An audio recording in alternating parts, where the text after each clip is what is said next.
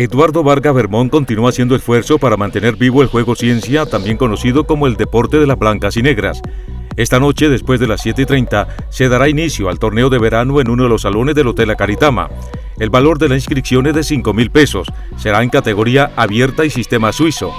El comité organizador espera que sea masiva la participación de los tableros que habitualmente hacen presencia en estos certámenes de ajedrez, donde siempre se ha observado buen nivel sin importar la edad de los deportistas.